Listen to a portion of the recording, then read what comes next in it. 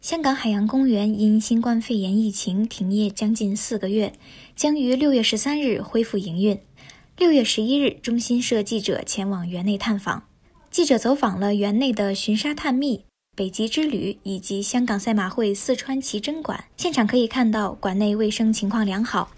巡沙探秘馆水族员李浩义向记者说：“虽然公园重开，但游客进内参观仍要保持抗疫意识，入园需要佩戴口罩及时刻注意个人卫生。为保证游客和动物的安全，部分游客与动物亲密接触的项目暂停。疫情關係啦，有誒限聚令啦，我哋公園都會加強翻，提醒翻一啲人客有適當嘅社交距離啦。咁誒，我所知一啲嘅幕後嘅參觀幕後地方啊，或者與動物親上加親嘅活動啊，啲誒我哋嘅誒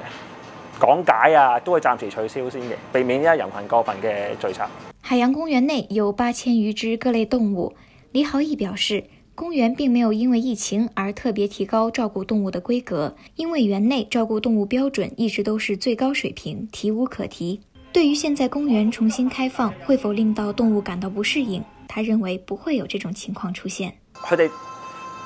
唔係太大影響嘅，即係有冇遊客，但係我哋水族園會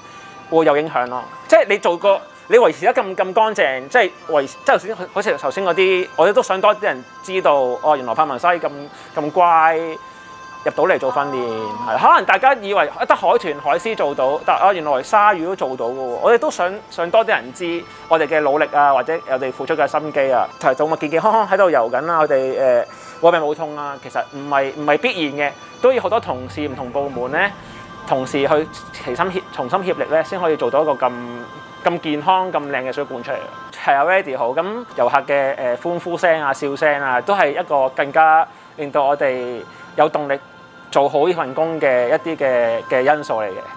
香港海洋公园因受新冠肺炎疫情影响，在一月二十六日闭园，此后因运营出现财务危机，海洋公园遭遇关闭风险。至五月二十九日，香港立法会财委会通过拨款五十四亿港元，协助公园偿还贷款和应付未来一年的营运费用。此次开园后，公园在前两周会控制入园游客人数，数量会是原来的四分之一。